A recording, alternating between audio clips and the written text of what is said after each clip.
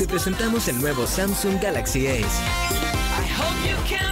Samsung Galaxy Ace es conectarse.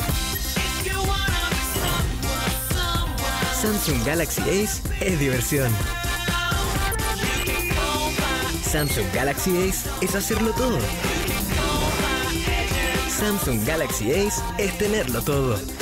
Bienvenido al mundo Samsung Galaxy Ace. Diseñado para ti. Es smart, es Samsung.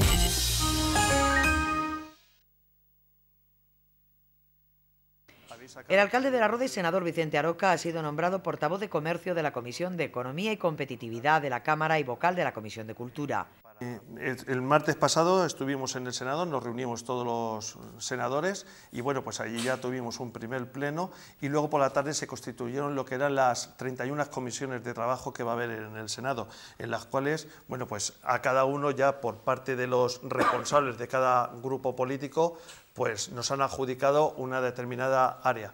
A mí me han adjudicado el área de la vocalía en la Comisión de Cultura y también me han adjudicado la enorme responsabilidad de ser el portavoz en el área de comercio dentro de la Comisión de eh, Economía y Competitividad. Aroca ha subrayado los tres objetivos del gobierno del PP, la recuperación económica, el crecimiento como nación y la creación de empleo, una tarea que su partido pretende realizar con seriedad, humildad y valentía que se debe imprimir en un gobierno en estos momentos. Bueno, pues ya digo, para mí es una enorme satisfacción y una gran responsabilidad y estoy agradecido al grupo del Partido Popular que hayan confiado en mi persona para ser el portavoz en el área eh, de comercio dentro de economía y competitividad y bueno, pues procuraré hacer las cosas de la mejor forma posible. Es verdad que yo en el comercio lo mejor que he hecho hasta ahora ha sido vender sardinas, ¿no?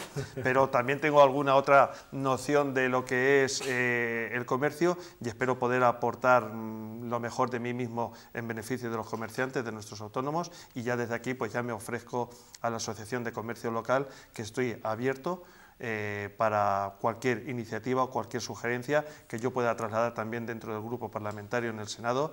Otros tres senadores populares de Albacete, Antonio Serrano, suplente de la Diputación Permanente, vocal de la Comisión de Suplicatorios y vicepresidente primero de la Comisión de Interior, Dimas Cuevas, como vicepresidente primero de la Comisión Constitucional y vocal de Justicia y de la Comisión Mixta para Relaciones con el Defensor del Pueblo, y Carmen Belén Torres, como vocal en las comisiones de Justicia, Sanidad y Servicios Sociales y Peticiones, trabajarán en la Cámara Alta.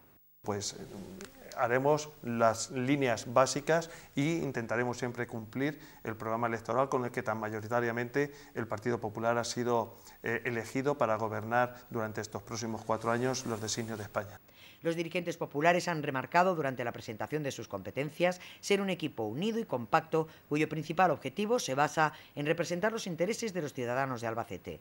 La delegación del PP en la Cámara Alta cuenta con 17 senadores de la región, de los cuales 15 son electos y dos autonómicos. El PP cuenta con 163 senadores de los 208 que conforman este órgano legislativo.